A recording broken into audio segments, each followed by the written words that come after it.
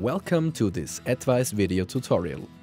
In this video, you will learn how to create a bar display with on-board tools of the atvise Builder. You are going to create the graphical elements, add the dynamization and the parameters to it. First, navigate to Library Project in the project tree. Then right-click the folder Object Displays and select Add Display. Enter bar as name and confirm your input with OK. Now expand the folder Object Displays and open the new display with a double click. To edit the display size, go to File Settings. Enter 60 pixels for the width and 150 pixels for the height. Save the settings with OK. Select Grid Snap Config Grid from the toolbar. Activate Grid by clicking the checkbox and set each value to 10. Activate Snap as well and set both values to 5. Save the configuration with OK. After the drawing area has been configured, you can start to create the graphical elements for the bar display. Select the rectangle tool from the toolbar and draw a rectangle all over the display. Keep the rectangle selected and open the fill settings in the attribute bar. Select a light gray and save with OK. Open the same dialog for the stroke color and select None. Confirm with OK. In addition, set the stroke width to 0. As a next step, add a scale to the bar display.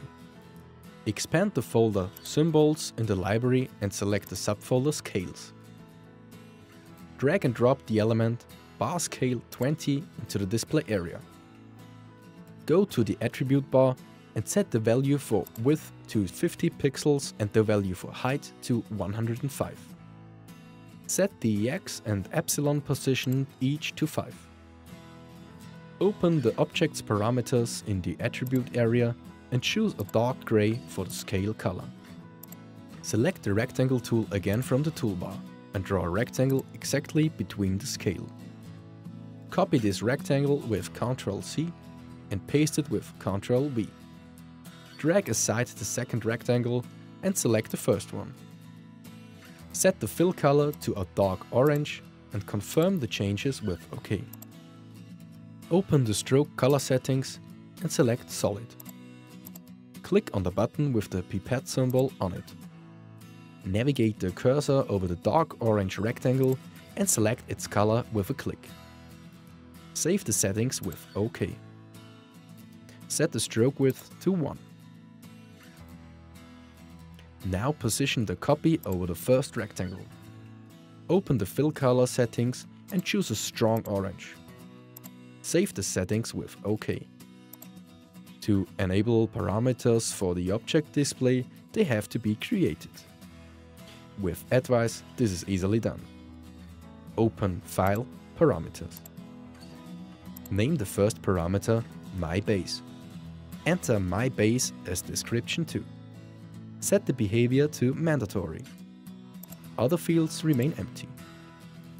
Name the second parameter Unit. Set the value dollar $unit dollar in capital letters as substitute. Enter unit as description and set the value type to string. Name the third parameter label. Set the value dollar label dollar in capital letters as substitute. Enter label as description and set the value type to string. Enter label into the default field. For further details to display parameters, please check the atvise help. Save the parameter settings with a click on OK. Select the text tool from the toolbar and click into the display area. Enter 6 times 0 and press the Enter key to exit the text editing mode. Open the settings for the fill color and use the pipette tool to select the color from the scale. Confirm with OK. Set text alignment to Centered. Copy the text element with Ctrl C and paste it twice with Ctrl V. Position the elements one below the other and center to the display. Select the middle element and set its text size to 8. Double-click it and enter the substitute dollar $unit dollar as text. Finish editing by pressing the Enter key. Select the bottom text element and set its text size to 10. Double-click it and enter the substitute dollar label dollar as text. Finish editing again by pressing the Enter key. Now it's time to save the display. Select the orange rectangle. The small yellow box is the reference point. It indicates the center or start point for the dynamization. Set the reference point to the bottom edge of the rectangle. Right-click the rectangle and select Add Simple Dynamic.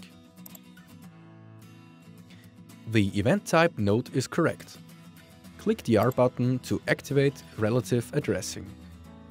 Select the parameter MyBase from the drop-down list. Select Scale for the action type. Set the minimal value to 0 and the maximum value to 100. Deactivate the option Scale X because you want the bar to scale vertically only. The value 0 for the epsilon start scale and the value 100 for epsilon stop scale are both correct. Save the dynamization with OK. Select the upper text element and go to Quick Dynamics Set Text. Click into the value field of the parameter, note from which the value will be taken, and activate relative addressing by clicking the R button. Select My Base from the drop-down list. Confirm your selection by pressing the Enter key and save the dynamization with OK. Now save the object display. Navigate to Server, My Server in the project tree and right-click on Objects. Select Add Node, Data Variable Int32. Name the node Motor and confirm with OK. Expand the folder Displays and open the display main. Now drag and drop your object display from the project tree into the display area. Open the previous created parameters in the attribute area and click into the My Base Parameters value field. Open the object selector with a click on the button with the three dots on it. Select the node Motor from the list and confirm your selection with OK. Set the value for unit to RPM and enter the text engine as label text. Confirm your input by pressing the Enter key. Drag and drop the rocker switch from the library into the display area. Select the same node as base address. Expand the parameter group options and set the minimum to the value 0 and the maximum to the value 100.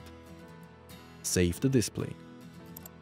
Open the visualization from the atvise Builder menu, Guided Actions, Open Web Browser for Server, My Server, HTTP 1. Zoom the elements with the Zoom to Rectangle tool. Now you can test your object display. Awesome! You created your own bar display.